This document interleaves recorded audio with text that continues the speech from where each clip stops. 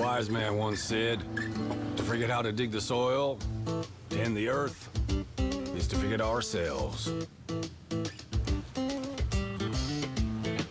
Well, maybe some have, but a few of us still know. You gotta be willing to put in the time, make the sacrifices, and the hard choices. The job's got its perks, don't get me wrong. The sweet smell of the morning dew, the way the warm sun and the cool breeze can dance across your skin. But don't think it's a game. Farm's got a way of sorting the wheat from the chaff.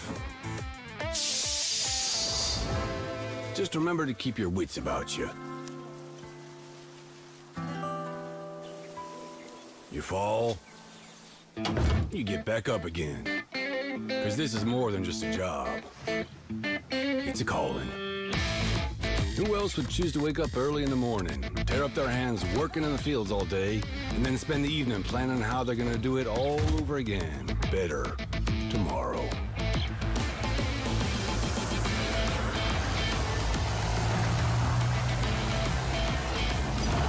Day after day. Season after season. Year after year. That's a calling that's never ending. It stretches far forward and back from us as long as farmers have been tending this earth. And farmers will be around as long as such a thing exists. Tomorrow is secured by those willing to dirty their hands today.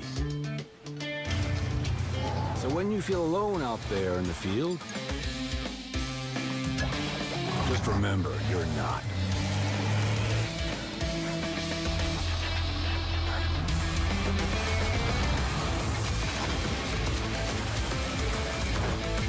Think about all those that have come before you. And all those that'll follow.